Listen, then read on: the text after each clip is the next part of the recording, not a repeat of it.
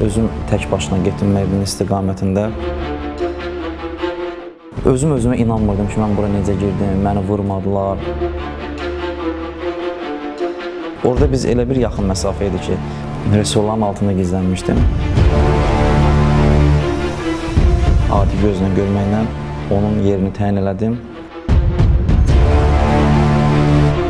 E, müasirədə necə qaldın? Hansı müddət qaldın? Orada mənim heç rabitə vasitəm də yox idi, çünki düşmən arasına girmişdim. Hamıya salamlar. Motivator Azərbaycan layihəsi qəhrəmanlarımızı tanıtmağa davam edir. Bu gün studiyamızın qonağı Füzuli istiqamətində gedən döyüşlərdə qəhrəmancasına döyüşən qazimiz baş leytenant Pərvin Abdullayevdir. Pərvin, xoş gəlmisiniz studiyamıza. Minnətdaram. Diqqət sağ olun. İlk sualım odur ki, ümumiyyətlə özünüz necə hiss edirsiniz? Gözünüzdə sarğı, ayağınızda sarğı? Hələ ki müalicələm gedir, rəstasiyona müalicə alıram. İndi Allah qoysa ayın 5-də əməliyyatım var, gözümün əməliyyatım var. Mənim sol gözüm sola dönmür, bir də sağ gözümdə qəlpə var. İnşallah əməliyyatlardan sonra həkimlərimiz söz veriblər ki, gözümdə görmə təmin olunacaq Allah qoysa. Buradan elə həkimlərimi də salamlayıram, Səlahattin doktora, Ağarza doktoru, Eldəniz doktoru, ümumiyyətlə Səlahattin doktorun bizim üstümüzdə böyük əməyi var. Onun kollektivini də buradan salamlayıram. Onlara minnətdarlığımı bildirirəm ki, bütün tək mən yox, bütün hərbi qulluqçulara böyük dəstək, böyük yardım edirlər. Ümumiyyətlə həkimlərimiz qarşısında baş əyirik. Pərvinlə e, həm söhbət olduq çəkilişdən öncə də və bir məqama fikir verdim ki, həqiqətən də çox savadlı danışır. Biraz istəyərdim özü haqqında danışasan Pərvin. Harda oxumusan, nə işlə məşğul olmusan hərbidən öncə? İyun ayının 10-u 1989-cu ildə Sumqayıt şəhərində doğmuşam. Hərbiçi ailəsində dünyaya gəlmişəm. Yəqin ki, məlumatınıza hərbiçilər xidmətdə xidmət illərinə görə müxtəlif e, rayonlara yönləndirirlər. Yəni atam harda olub, biz də orada olmuşuq. Ən axırıncı məktəbim 19 saylı məktəb olub.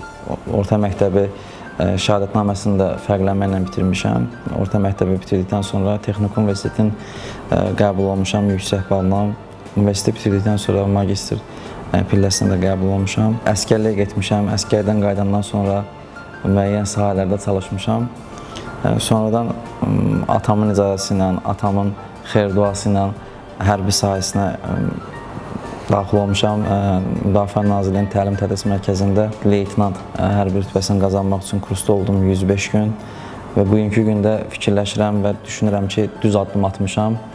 Mənə də qismət oldu bu 2-ci Qarabağ döyüşlərində iştirak etmək və Azərbaycan bugünkü gündə zəfər qələbəsini qeyd eləyir.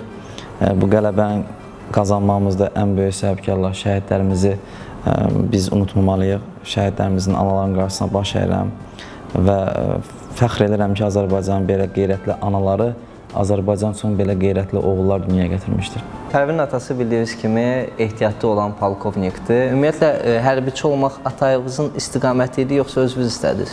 Atamın da istiqaməti olub, mənim də öz istəyim olub və əlbəttə ki, evin böyüyü mənim atam idi. Atamdan məsləhət aldım. Atam xeyir-dua verdi, dedi, yolun açıq olsun. Hər zaman öz savadını göstər, hər zaman tabiçində olan şəxsiyyətlə düzgün rəftar elə. Yəni hərbi istiqamətdə mənə gözəl məsləhətlər verdi. Hətta döyüş anlarında da belə yəqin ki, məlumatınıza biz düşmən işğal düşmən arasında olduğumuza görə biz ə, telefondan çox istifadə etmirdik çünki yerlərimiz təyin olunurdu. Mən atamdan yığıb məsləhət alırdım çünki o, o əraziləri mənim atam mükəmməl tanıyırdı. Onun da böyük əməyi olub fəxr edirəm ki, elə bir ə, insanın, elə bir şəxsiyyətli bir insan oğluyam. Maşallah. Atanızın hətta efirlərin birində bir sözü var ki, biz ala bilmədiyimiz həmin o yüksəklikləri, həmin o əraziləri mənim oğlum aldı. Təbii ki, qürur vericidir. Pərvin bugünkü gündə yaralanmağa, torpaqlarımızın azad olunması uğrunda şücaət göstərməsi mənim üçün böyük bir qürur hissidir. Çünki özünə də zəng elədim, dedim, o Qaraxanbəyli kəndinin uğrunda biz neçə dəfə döyüşə girdik, yala bilmədik. Ancaq Pərvincil onu aldı.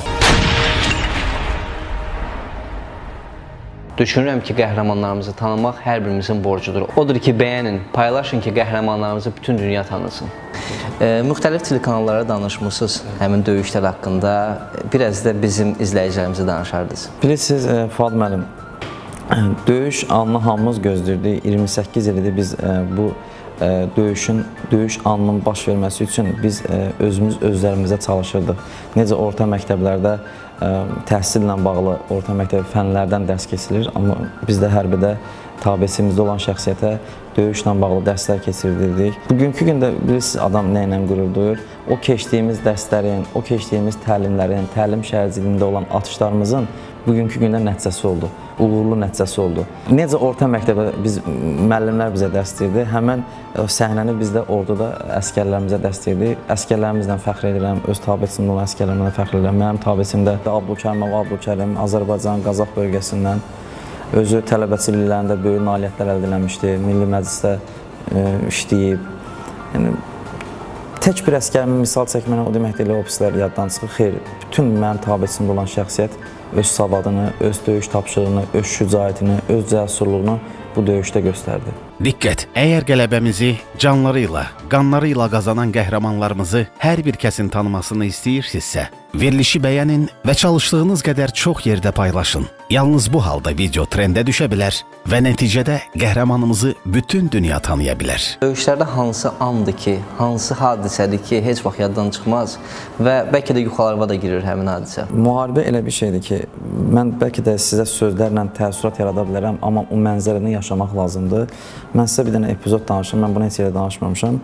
Məsələn, mən e, Füzulinin Merdini kəndində biz hər axşam ə, zabitlərlə toplantı keçirdirdik. Yəni biz hansı istiqamətdən hücum edəcəyik, hansı taktik qrup, hansı istiqamətdən mühafizə xəttlərini, yəni ümumi belə deyək də hərbi struktur cəhətdən söhbət edirdik. Mən Merdin istiqamətində düşmənin bir dislokasiya məntəqəsi vardı. O dislokasiya məntəqəsi bizim istiqamətə iri çaplı silahlardan, minamyotlardan, yəni mərmilər atırdı və bu da bizə zərər verirdi. Yəni yaralılarımız olurdu, şəhidlərimiz olurdu. Mən qərar aldım və özüm tək başına getdim Merdin istiqamətində düşmənin dislokasiya məntəqəsinə girəndə. Dislokasiya məntəqəsinin açıqlaması odur ki, 3 dənə bölük, belə deyək də, bir pexota bölüyünün içinə girdim İnsan içində həyəcan olur, riskli addımdır, hər adam bunu bəlkə də edər. Qanında Azərbaycanlı qana axan hər bir vətəndaş bunu elər. Mən girdim ora, özüm özümə inanmırdım ki, mən bura necə girdim, məni vurmadılar, düşmən snayperi vura bilərdi və yaxud minəyə düşə bilərdim. Yəni Allah təala qorudu. Mən həmən dislokasiya məntəqəsinin koordinatlarını xəritə vasitəsindən çıxartdım. Artilleriya qurğularına komanda verdim ki, yəni mən verdiyim koordinatları vurun. Bilirsiniz, insan nə vaxt sevinir, qürur duyur özündən. Düz, mən bunu dilə gətirməm bəlkə də düz olmaz. Mən o həmən ərazidən aralandım və artilleriya qurğusu olan məhv eləndə insan özü öz işindən ləzzət alırdı ki, mən düşmənə bu qədər itki verdim çox itki verdik, həqiqətən çox. Orada onların düşmənin ə, hərbi bazası vardı. Sizə deyərəm ki, ə, saat ə, belə deyək də 2-də biz oranı vurduq. Demək olar ki, günorta saat 12 idi, 1 idi, hələ ora yanırdı. Elə hərbi qulluqçularımız vardı ki, inandırım sizi ki, onların səsinin lərzəsindən belə düşmən qorxurdu. Və orada biz elə bir yaxın məsafə idi ki, yəni düşməni durbinsiz, yəni tam rahat şəkildə səngərdən görürdük. Onlar Azərbaycan hərbisinə həqiqətən də qorxurdular. Bunu söz mənasında demirəm, reallıqdır. Məndən başqa olan orada olan hərbi qulluqçular da bu sözü təsdiq edir. Həqiqətən də Azərbaycan əskərindən düşmən qorxurdu. Bu e, bildiyimə görə düşmənin 2 tankını, 2 qradını məhv eləmişdi həmin koordinatlara əsasən. Mən başqa bir Ensali hərbi hissənin zabitiyəm. Mən Füzuli ərazisini həqiqətən tanımırdım. Sadəcə olaraq bizim də istifadə etdiyimiz ləvazimatlar var, döyüş ləvazimatları var.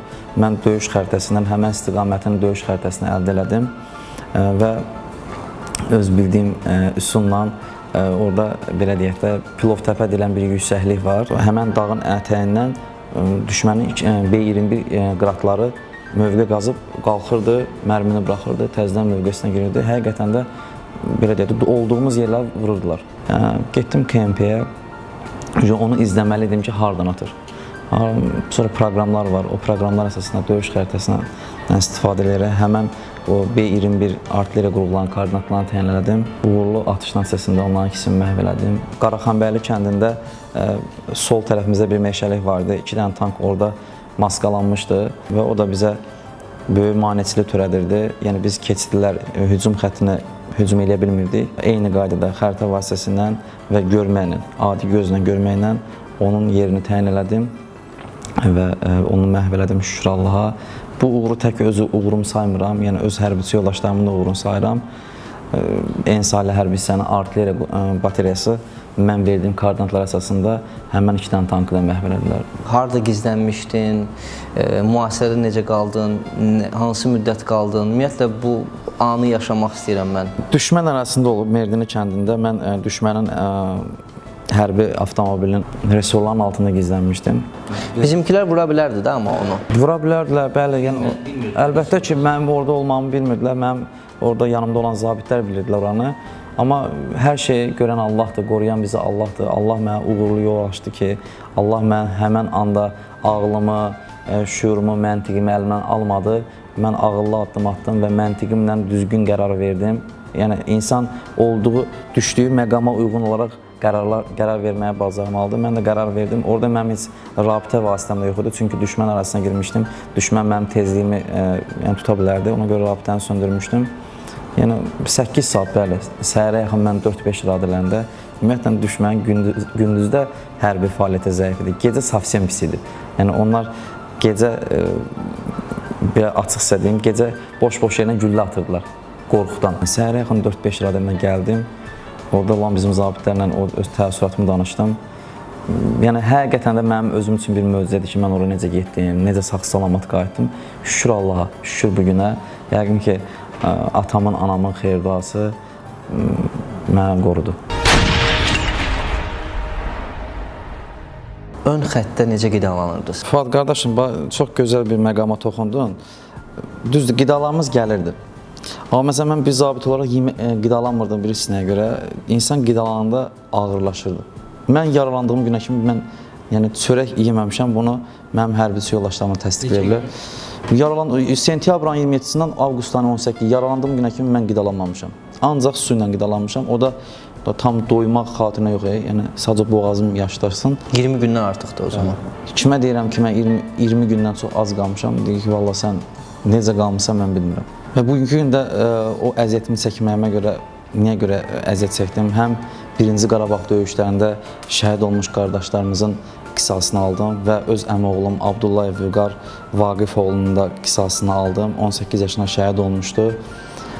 Mən mən ümumiyyətlə e, düşməndən qisas almağı sevən biriyəm.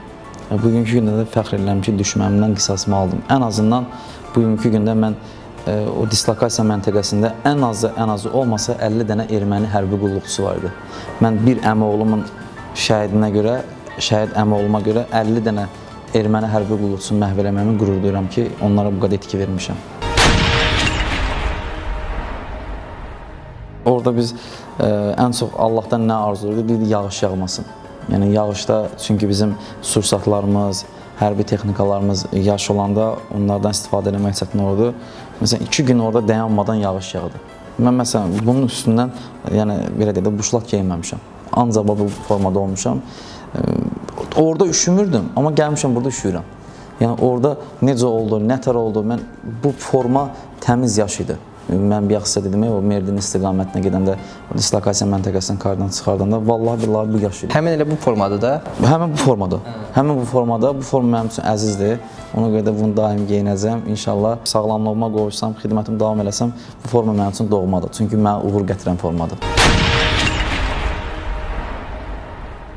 Pərvin zəhmət olmasa biraz da həmin hadisə, yaralandığın hadisə ümumiyyətlə harda oldu? Füzulidə oldu? Bəli, Füzulinin Seyid Əhmədçisində yaralanmışam. Toplantı keçirirdik. Yəni hərə öz ə, e, taktikasını, ə, e, ideologiyasını orada açıqlama verirdi və biz ortaq məxrəcə gəlib yəni bir qərarla, bir hücum xəttinə hücum eləmək istədik. Yəni ani bir moment ərzində, yəni gözləmədiyimiz bir anda yanımıza düşmənin 120 minomyot mərmisi düşdü. Yəni mən açıq hiss edirəm necə orada yaralanmışam, Məni necə oradan çıxardıblar. Yəni heç bir, heç bir şey haqqında məlumatım olmayıb. Məni iki aparıblar Füzulin diaqnostikasına, sonradan gətiriblər Papani hərbi qospitalına. Sonra özümə gələndən sonra məlumatım olub ki, məni Allah uzun ömrünü uzun eləsin. Düzdür, o da döyüşlərdə 2 dəfə yaralanıb. Mayır Axundov Emil özü şəhid oğludur. Birinci Qarabağ döyüşlərində atası şəhid olub və mənim çox sevdiyim bir insan var, bizim könüllərdən köhnə Daxili İşlər Nazirinin əməkdaşı Şükürov Alim Qəhrəmanoğlu. Allah ona can sağlığı versin. Yəni bugünkü gündə birinci növbədə Allahıma borcluyam həyatda qalmamağa, ikinci də o insanlara borcluyam ki, məni həmən anda oradan təxliyə edirlər. Hətta sizə bir şey vurğulayım ki, məni oradan çıxardandan sonra mən tək olmamışam. Məndən başqa kapitan Nəsibov İlqar da olub. Məni orada mənlə kapitan Nəsibov İlqar oradan çıxardandan sonra düşmən ora, həmin e, biz olduğumuz yerdə dayanmadan vurulmuş. Yəni bəlkə də görüntü görüblər. Ola bilər də yəni, hər şey ola bilər. Və bildiyimə görə 10 kilometrə yaxın sizi Bəli, ə, Şükürov alim məni ə, yəni sinini daşıyıb. Yəni onu hər insan eləməz, amma sağ olsun ki, eləyib. hal-hazırda hamı bir-birinə dost deyir, qardaş deyir. Amma e, 44 gündən də az bir-birini tanıyan insanlar, həyat bəlkə də həyatda ilk dəfə də hamı bir-birini görürdü, amma orada əsl qardaşlıq oradaydı. 10 kilometr nə demək, yəni adamı çiynində daşımaq, qoymaq və bildiyimə görə sizdən də sonra gedib başqalarını da orada Bəli, çox gözəl vurğulursunuz. Bugünkü gündə bəli, hamımız bir-birimizə dost qardaş deyirik. Amma orada elə bir situasiyalar idi ki, Fuad qardaşım, adi bir primitiv deyə də bir konfet əldə konfet olanda da biz onu 2 yerə bölürdük, 3 yerə bölürdük. Yəni mən yeyirəmsə onu Fuad da yeməlidir, onu alim də yeməlidir, onu hamı yeməlidir. Yəni bayaq mən nə dedim cümlənin əvvəlində? Azərbaycan xalqı həmişə bütün dünya Azərbaycanlıları həmrəy xalqıq. Yəni bir daha öz həmrəyliyimizi bütün dünyaya sübut elədi ki, Azərbaycan xalqı həmrəydir. Ali Baş Komandan demişəm, dəmir yumruq altında biz birləşdik və düşmənə öz zərbəmizi verdik. Diqqət! Əgər qələbəmizi canları ilə, qanları ilə qazanan qəhrəmanlarımızı hər bir kəsin tanımasını istəyirsinizsə, verilişi bəyənin və çalışdığınız qədər çox yerdə paylaşın. Yalnız bu halda video trendə düşə bilər və nəticədə qəhrəmanımızı bütün dünya tanıya bilər. həmrəylik haqqında danışdın. 31 dekabr Dünya Azərbaycanlılarının həmrəylik günü idi. Bir daha e, xalqımızı təbrik edirik həmin gündən və həqiqətən də düzdür bunun tarixi gedir 1989-cu ilə həmrəyliyimiz, amma e, 2020-ci ildə bunu əsl biz nümayiş elədik, birliyimizi, həmrəyliyimizi və ümumiyyətlə döyüşlər zamanı dəstəklər çox olurdu. Kamil Zeynal da sizin yanınızdaydı səfərimizə. Kamil Zeynallıya Allah can sağlığı versin. Yəni həqiqətən də ə, tək Kamil Zeynal yox, e, Kamil Zeynalın timsalında bütün Azərbaycan qeyrətli oğlanlarına mən öz təşəkkürümü, minnətdarlığımı bildirirəm. Kamil Zeynallı vətənpərvər oğlandır. Mən həqiqətən də Kamil Zeynalla mən ə, telefon əlaqəsi saxlamışam. Allah onu qorusun. Ə, Ruhi xanımı, yəni həqiqətən o xanım böyük dəstək olub. Elə sizin özünüz də niyə öz öz adınızı vurğulamırsınız? Yəni siz özünüz də Fuad qardaş dəstək olmusunuz. Allah sizə can sağlığı versin. Sumqayıtdan Məcid qardaşım. Mən onun da adını çəkmək istəyirəm. Yəni ad 3-4 nəfər deyil. İnsanlarımızın sayı çoxdur. Sadəcə olaraq həmən insanlar yəni adlarını açıqlamasını istəmirlər, amma adları çəkilməlidir. Tanınmalıdır ki, Azərbaycanda belə vətənpərvər insanlar var, belə xeyriyyətçi insanlar var, bizi düşünən insanlar var. Allah can sağlığı versin hamısına. Hətta elə analar var ki, ə, öz qızı üçün hazırladığı cehiz, yorğan döşəkləri ön xəttə göndərib ki, əskər balalarımız soyuqda qalmasına. Bəli, mən xalqımla yenə fəxr edirəm. Prosta ə, siz bir şey vurğuladınız 31 dekabr həmrəylik gününə bağlı. Ə, yəni biz hərbiçilərə, yəni mən Papani hərbi qoşusunda stasionar müalicə alıram. Bizə təhsil edən məqam nə oldu? Ə, bizim hələ şəhidlərimizin anasının göz yaşı dayanmayıb. Hələ şəhidlərimizin qırxı çıxmayıb. Ali Baş Komandan dövlət səviyyəsində atəşfəşanlığı icazə vermədi. Amma bəzi e, insanlar mən onlara insan deməyə utanıram.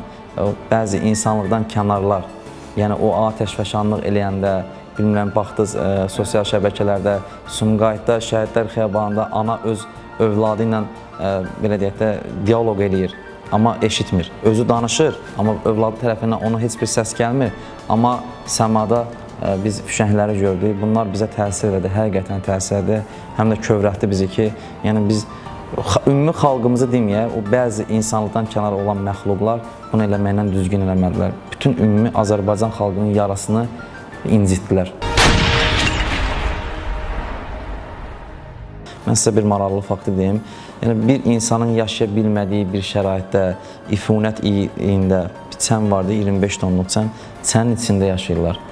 Yəni onların yaşam tərzi, onların təminatına baxırdım. Onlarda yeraltı keçidlər çox idi. Bax məsələn mən e, Merdinli kəndində onların yaşayış yerləri lük qapağı kimi. Lüku açırsan, girirsən içəri görürsən ki, əməlli başlıca bunların yaşaması üçün İllərdir orada yaşayır. illərdir orada yaşayırlar, amma necə yaşayırlar o rütubətdə, işte şəraiti olmayan, səliqəsi olmayan bir yerdə, iydən dayanmaq olmur. Orada mülki əhali yaşayır, yox hərbiçilər? Yox, hərbiçilər. Adicə mən sizə bir dənə şey vurğulayım ki, onların geyiminə baxırdım belə. Hətta Azərbaycan hərbiçisinin geyiminə baxırsınız, adama xoş gəlir. Yəni bu gözəl formadır. Amma onların geyiminə baxırsan ki, səliqəsiz, heç bir dizaynı gözəl dizayn yoxdur. Amma bizim əlimizdəki forma çox mükəmməl formadır. Çünki ə, bunun üzərində olan bütün rəng çalarlar bizim ə, öz şəhidlərimizin qanlarının axma çalarlarıdır. Gör nə qədər qürur verici formadır ki, biz şəhidlərimizin ə, axdığı qanın çalarlarına olan bir formanı genirik. Mən məsələn şəxsiyyətin qarşısına çıxırdım, dedim ki, döyüşə hazırsınız. Hər zaman hə. Yəni bir insan yox demədi, qorxmadı. Belə baxanda 18 yaşında bir Azərbaycan gəncinin siz görün nələrə qadir oldu. Yəni düşmənin əskərinə baxırdın, 30-35 yaşında kişilər, hətta xanımlarını belə. Amma biz Azərbaycan xanımını həmişə uca tutmuşuq. Çünki onlar bizim başımızın tacıdır. Biz heç vaxt, e, yəni Azərbaycan hərbçisi olaraq layiq görməzdik ki, şərəfsiz düşmənin qarşısına bizim Azərbaycan xanımımız çıxsın. Bizim Azərbaycan xanımları dünyada ən gözəl xanımlardır bilirsin niyə? Çünki Azərbaycan belə qeyrətli oğullarını dünyaya gətiriblər. Mən fəxr edirəm Azərbaycan qeyrətli xanımlarla və onlarla qarşısına baş əyirəm. Bu gün ən çox qürur verici an bilirsəndir, 2823 şəhidin içində bizim bir xanımımız var. Və o 2823 şəhidimiz yerlərində bəlkə də bilirsin rahatı, onların qanı axdığı torpaqlar hal-hazırda o torpaqlarda Azərbaycan bayrağı dalğalanır. Biz o Azərbaycan bayrağının dalğalanması üçün canımızdan belə keçməyə hazır idik. Çünki o şanlı bayraq həmişə ucalarda olmalıdır.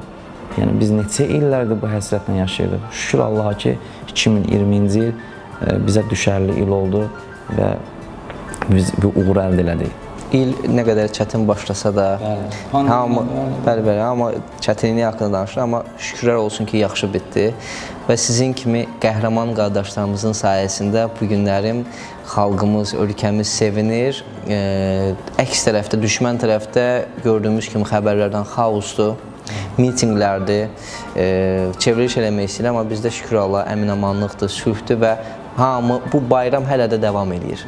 Mən özümdən götürüm, mən yolla gedirəm maşınla, harda hərbiçi görürəm, bax içimdən gəlir Quran haqqı. Sadəcə e, pəncərəni aşağı eləyib e, ya Allah qorusun demək istəyirəm, ya düşüb əlini sıxmaq istəyirəm. Bu qürur vericidir. Mən açıq deyirəm, mən xalqımızın bizə qarşı olan münasibətindən siz vurğulayırsınız. Yəni adi bir insanlar yaxınlaşırlar bizə, qürur duyuruq, öz təşəkkürlərini bildirirlər. Yəni biz nətərdir adama xoş təsir bağışlayır. Millət tərəfindən bu sevgini qazanmaq Əvvəl bax mən e, bir şey vurğulayım sizə. Özümə hərbiçi idim də gəldim məsələn şəhərə. Özümdə o təəssürat yanında. Bəlkə də elə deyildi. Sadəcə öz e, daxili düşüncələrimlə dedim ki, millət bizə niyə elə baxır? Çünki millət bizdən bunu gözləyirdi ki, biz onları nə vaxt sevindirəcəyik. Amma indi baxırsınız ki, hamının üzündə təbii təbəssümdür. Yəni hamı uca bilsinizə şadyanalıq nə mənada ə, şəhidlərimizi unutmurlar Hər yerdə şəhidlərimizin adını çəkirlər, qaziləri unutmurlar. Mən bugünkü gündə bütün televiziyaya baxıram, bütün sosial media ancaq hərbiçidən danışır. Əvvəl efirlərə baxırdım, hər cürə şeylər var idi, amma bugünkü gündə Azərbaycan hərbiçisi danışır. Bilməm, fikir vermisiniz, verməmisiniz. Azərbaycan hərbiçisinin hər biri gözəl məntiqlə danışır. Hər birinin gözəl diksiyası var, natiqliyi var. Bu da biz nə deməkdir? Azərbaycan hərbiçisi həm daxili mədəniyyətindən, həm xarici mədəniyyətindən, həm natiqliyi ilə bütün dünyada fərqlənir. Pərvin, Allah sənə can sağlığı versin. Tez bir zamanda belə normal həyata qayıt. Ayağında inşallah düzələr, gözündə düzələr, əməliyyatdan sonra hər şey qaydasında olar və həmçinin bütün qazilərimizə can sağlığı arzu edirik. Şəhid ailələrinin də qarşısında baş əyirik. Pərvin, çox sağ ol ki, gəldin. Təşəkkür bildirirəm. Mən də sizə minnətdaram, sizə, sizin kollektivə, İndi burada kadr arxası insanlar da var. Onlara da öz təşəkkürümü bildirirəm. Onların da əziyyəti var, əməyi var. Allah sizi var eləsin. Bu ideologiyavız, bu sizin şirkətinizin uğurları daim olsun və istərəm ki, bütün dünya səviyyəsində tanınsın. Düşünürəm ki də tanınacaq, çünki niyə görə siz düzgün yoldasınız, düzgün bir istiqamət götürmüsünüz, uğurlu bir yoldur. Allah bu uğurlu yolda sizi o maniyələrdən çox rahatçılıqla keçirsin. İnşallah uğurlarınız bol olsun. İnşallah. İzləyicilərimizə demək istəyirik ki, əgər Pərvin Abdullayev kimi qardaşlarımızın, qazilərimizin hər kəs tərəfindən tanınmasını istəyirsinizsə, mütləq şəkildə verilişlərimizə baxın, like edin, paylaşın ki, təkcə ölkəmiz daxilində deyil, ölkə xaricində də belə qəhrəmanları tanısınlar.